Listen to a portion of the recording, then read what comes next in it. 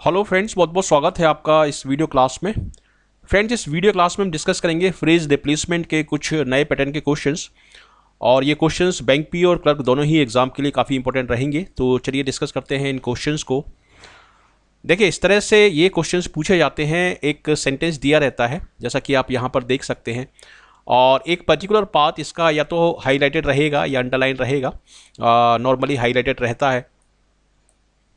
और इस पार्ट को आपको ग्रामेटिकली करेक्ट करना है, इसमें गलती हो सकती है फ्रेज की गलती हो सकती है, या इडियोमेटिकली ये गलत हो सकता है।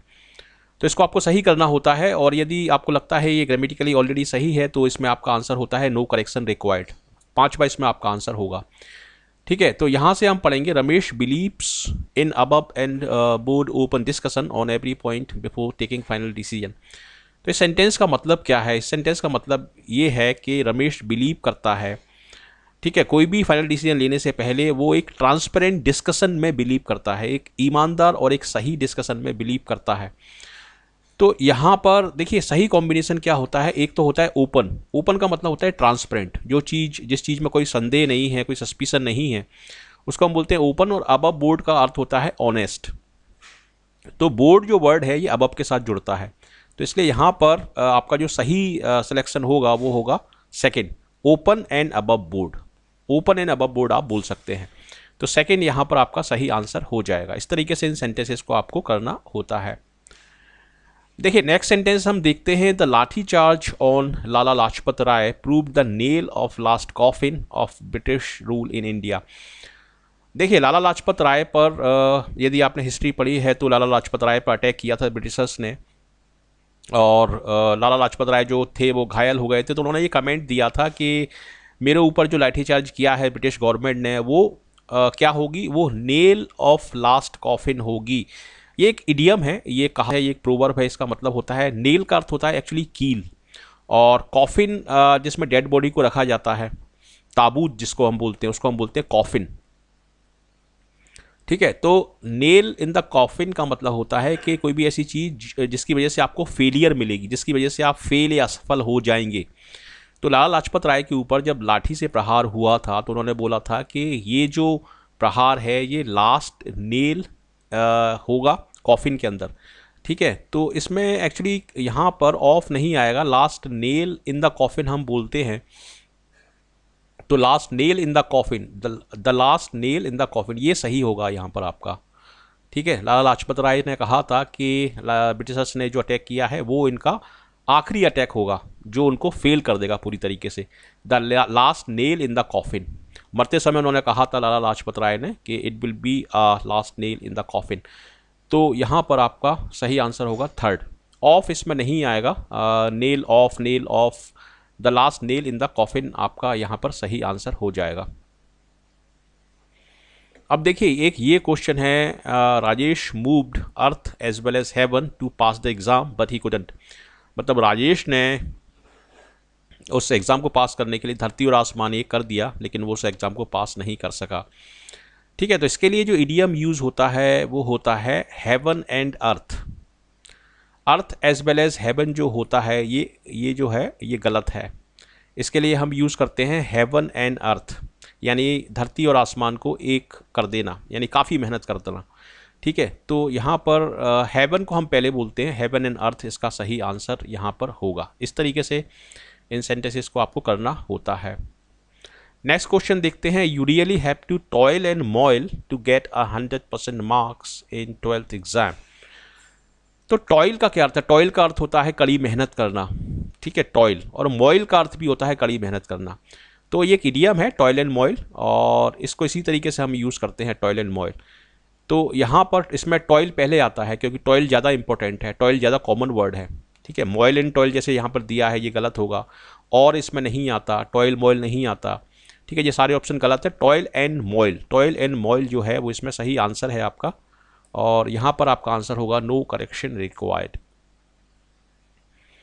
next question देखते हैं। Our experience says that there are many slips between the lips and the cups इस सेंटेंस का मतलब क्या है? इस सेंटेंस का मतलब ये है, जैसे कोई भी हम फाइनल डिसीज़न लेते हैं सपोज़ हम, हमने, हम किसी भी प्रोजेक्ट पे काम कर रहे हैं और हमें लगता है कि इस प्रोजेक्ट यदि ये प्रोजेक्ट सही तरीके से काम करता है तो इसमें इतना परसेंट प्रॉफिट आ जाएगा।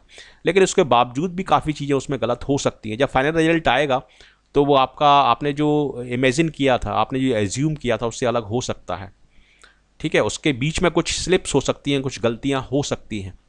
तो उसी के लिए हम बोलते हैं there are many slips between the lips and the cups तो इसमें आपका, इसमें एक्चुअली कुछ लोग इसको बोलते हैं many slips between the cup and the lip cup भी सिंगुलर में आता है और लिप भी सिंगुलर में आता है, लेकिन कुछ लोग लिप्स भी बोलते हैं। तो कुल, और यहाँ पर बिटवीन का ही प्रयोग करते हैं हम बिफोर इसमें नहीं आता। और इसमें कप पहले आता है। Many slips between the cup and the lip या लिप्स तो यहाँ पर फोर आपका आंसर सही होगा। ठीक है? लिप या लिप्स एक ही बात है। लिप्स भी बोल सकते हैं लिप भी बोल सकते हैं। तो फोर यहाँ पर आपका सही आंसर होगा। नेक्स्ट क्वेश्चन देखते हैं। देखिए, ये हैं आपके डबल फिलर के क्वेश्चन और इस तरह के क्वेश्चन बैंक पीओ में और इस समय क्लर्क में भी इस तरह के क्वेश्चन पूछे जा रहे हैं। तो इनको हम देखते हैं। हेल्दी स्केप्टिसिज्म स्केप्टिसिज्म का क्या मतलब है? स्केप्टिसिज्म का मतलब है किसी व्यक्ति के ऊपर डाउट करना, हर चीज़ के ऊपर डाउट करना। ठीक है healthy scepticism are vital for any journalist देखिए हेल्दी स्केप्टिसिज्म एक अच्छी चीज़ होती है किसी भी जर्नलिस्ट के लिए। तो वाइटल के साथ यहाँ पर कौन सा वर्ड जुड़ेगा? वो आपको यहाँ पर लगाना है। ठीक है? अब देखिए, ये काफ़ी ट्रिकी होते हैं स्पॉटिंग डबल फ्लर यदि आपको लगता है, यदि आप एक ऑप्शन के बारे में पूरी तरीके से कॉन्फिडेंट हैं तो सेकेंड ऑप्शन आपका अपने आप ही सही हो जाएगा। ठीक है? और यदि पहले आप यहाँ देख लो कि यहाँ सही आ रहा है कि नहीं, फिर आप यहाँ देख लो सेकेंड वाला कि यहाँ सही आ रहा है कि नहीं। तो इसको कई तरीके से किया जा सकता है। अब देखिए, इसके लॉजिक क्या है? इसका लॉजिक ये है, जैसे जैसे गिवन दिया है, और यहाँ पर दिया है, वे अप अवे चांस ये दिए हैं सारे वर्ड ठीक है? तो आपको लॉजिक ये लगा सकते हैं कि गिवन के साथ कौन सा वर्ड जा सकता है। ठीक है? अब एक एक इडियम होता है गिव वे टू मतलब किसी के लिए रास्ता छोड़ देना मतलब किसी को आगे बढ़ने देना, आप आप पीछे आ जाना और किसी को आगे जाने देना। उसको हम बोलते हैं गिव वे टू तो यहाँ पर देखिए टू भी लगा हुआ है, ठीक है? और गिव यहाँ लगा है तो ये वे इसमें आ सकता है। ठीक है? भले ही आपको इस सेंटेंस का मीनिंग नहीं पता किस सेंस में ये सेंटेंस यूज़ हो रहा है नहीं पता, लेकिन अपने लॉजिक से इस सेंटेंस को आप अपना सही कर सकते हैं। अब देखिए, यहाँ पर सेकंड में वे के साथ क्या है? एट्रीब्यूट तो एट्रीब्यूट यहाँ पर इसलिए जाएगा क्योंकि एट्रीब्यूट का अर्थ होता है कि पर्सनैलिटी का एक बहुत मेजर पार्ट ठीक है? पर्सनैलिटी ट्रेड जिसको हम बोलते हैं, उसको हम एट्रीब्यूट भी बोलते हैं। तो यहाँ पर आपका, चूँकि जर्नलिस्ट की बात हो रही है जर्नलिस्ट की पर्सनैलिटी की बात हो रही है कि उसकी पर्सनैलिटी का एक बहुत इंपॉर्टेंट पार्ट है। हेल्दी स्केप्टिसिज्म डाउट करना लोगों पर। ठीक है? तो इस तरीके से यदि आप लॉजिक लगाते हैं तो आप आंसर निकाल सकते हैं। ये इसका सही आंसर हो जाएगा इसमें। Healthy scepticism a vital attribute for any journalist has given way to credibility और वर्स नाइबिटी इस सेंटेंस का मतलब क्या है कि चूँकि जर्नलिस्ट हेल्दी स्केप्टिसिज्म बिलीव करते हैं, और उस वजह से वे थोड़े से क्रेडुलस हो गए हैं। क्रेडुलस हो गए हैं मतलब वो हर चीज़ पे आसानी से बिलीव कर लेते हैं और नाइब बन गए हैं। ये थोड़ा सा इस सेंटेंस का मतलब है। और यहाँ पर आपका वन फ़र्स्ट सेकेंड थर्ड यहाँ पर सही आंसर हो जाएगा। इस सेंटेंस को हम देखते हैं, Kejriwal's about all kind of people तो यहाँ पर केजरीवाल जी क्या करते हैं? About all kind of people उनके ऊपर स्टेटमेंट देते हैं, या तो यहाँ पर आपका उससे संबंधित एक वर्ड आएगा। और यहाँ पर हम देखते हैं about all kind of people became more and more and even if there was a grain of truth in any of them देखिए ट्रुथ हम किस चीज़ में देखते हैं?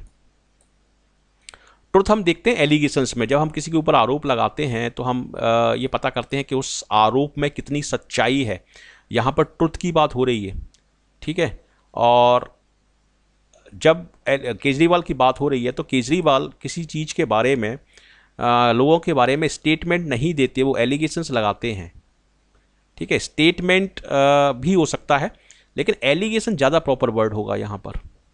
Kejriwal's allegations about all kind of people क्योंकि यहाँ पर लिखा है ऑल काइंड ऑफ़ पीपल तो पीपल के बारे में हम क्या देंगे? स्टेटमेंट नॉर्मली नहीं देंगे, उनके ऊपर आरोप लगाएँगे। ठीक है? अगर स्टेटमेंट देंगे भी तो स्टेटमेंट के साथ फिर अटैकिंग वर्ड यहाँ पर नहीं जाएगा। Kejriwal's statement about all kind of people became more and more attacking and even if there was a grain of truth in any of them there was just no evidence ठीक है? Evidence भी देखिए evidence किसमें होता है? Evidence जब हम आरोप लगाते हैं तो उस आरोप का एक एविडेंस होता है कि उस, वो सच है या गलत है। ठीक है तो एविडेंस जो वर्ड है वो एलिगेशन के साथ सही जाएगा। और एलिगेशन चूँकि सही है तो आउटलैंडिस भी अपने आप सही हो जाएगा। इस तरीके से इन सेंटेंसेस को आपको करना होता है।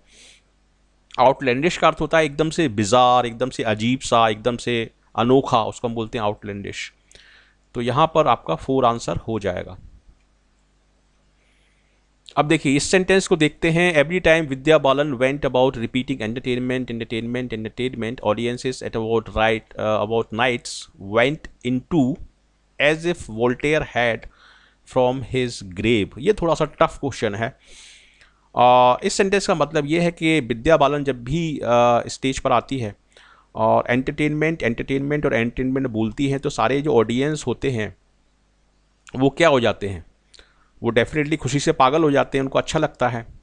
तो खुशी के लिए यहाँ पर एक वर्ड चाहिए, और खुशी के लिए देखिए डार्क नहीं है हेलुसिनेशन नहीं है साइलेंस नहीं है एन्जॉय नहीं है।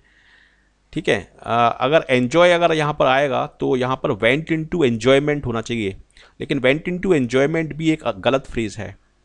Went in to go in to raptures बोल सकते हैं आप। गो इन टू रैप्चर्स मतलब बहुत ज़्यादा खुश हो जाना रैप्चर्स एक होता है रप्चर जिसका मतलब होता है फटना या टूटना, लेकिन रैप्चर्स का मतलब होता है खुश खुश होना, ठीक है?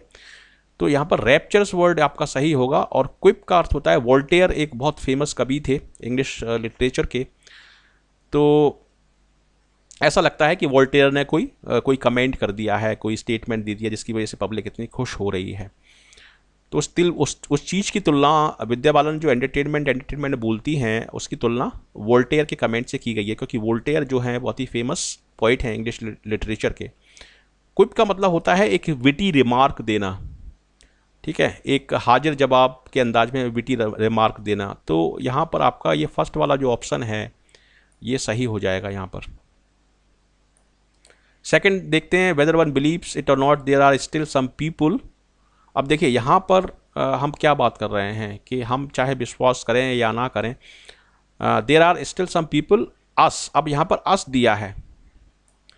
ठीक है? तो पीपल कहाँ पर हैं? पीपल सराउंडिंग अस हैं या पीपल अबाउट अस यदि मैं अबाउट अस बोलूँगा तो बिल्कुल गलत हो जाएगा। ठीक है? अबव अस पीपल हमारे ऊपर हैं पीपल हमारे बारे में हैं पीपल ओवर पीपल मतलब इस इस चीज़ को यदि आप कनेक्ट करेंगे तो इसमें इसमें सही ऑप्शन क्या होगा? लोग बाग कहाँ पर हैं? लोग बाग हमारे आसपास हैं। ठीक है तो आसपास के लिए वर्ड क्या होगा? अराउंड वर्ड होगा। अब नहीं होगा ओवर नहीं होगा सराउंडिंग नहीं होगा अबाउट नहीं होगा अराउंड होगा। ठीक है तो इसमें अराउंड यहाँ पर जो होगा, वो सही ऑप्शन होगा। अब इसको बोथ भी देख लेते हैं बोथ सही है कि नहीं। वैसे यदि एक सही हो जाता है तो दूसरा अपने आप सही होगा, क्योंकि दोनों ही ऑप्शन सही होने चाहिए। अब देखिए यहाँ पर हम क्या बोल रहे हैं? वेदर वन बिलीव्स इट और not there are still some people around us who could have become powerful अब यहाँ पर देखिए both in strength and in financial means both in strength and देखिए बोथ एंड जैसे नीदर और neither nor होता है ईदर और होता है, उसी तरीके से बोथ के साथ एंड लगता है। तो एंड यहाँ पर लगा हुआ है तो इसलिए यहाँ पर हम बोथ को लगा देंगे। तो पांचवा जो ऑप्शन है, वो दोनों ही लॉजिक पर फिट बैठ रहा है। तो इस तरीके से आपको इन क्वेश्चंस को करना है। एक क्वेश्चन और देखते हैं. When politicians become and bureaucracy it is the media that people turn for some guidance इस सेंटेंस में हम क्या बोल रहे हैं? इस सेंटेंस में देखिए, यहाँ पर हम बोल रहे हैं कि it is the media that people turn for some guidance लोग बाग मीडिया की तरफ़ रुख करते हैं. लोग बाग मीडिया की तरफ़ रुख करते हैं या मीडिया से एक उम्मीद लगाते हैं कि मीडिया हमारे लिए कुछ करेगा.